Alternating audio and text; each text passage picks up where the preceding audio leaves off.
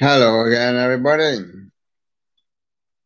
I thought I better refresh that one. I think it was stuck away. And, uh, yes, I'm going to do the Nick Straker band on here.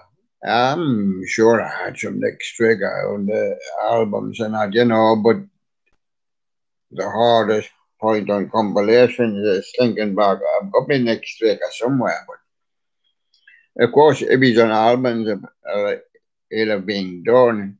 But a walk in the park, and somebody might say, well, all these hit songs, yeah, these are hit, mostly hit songs, you know, mostly.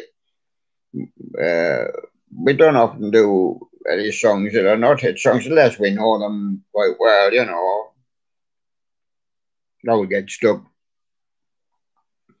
A Walk in the Park, it's called. I'll put it up on there for you.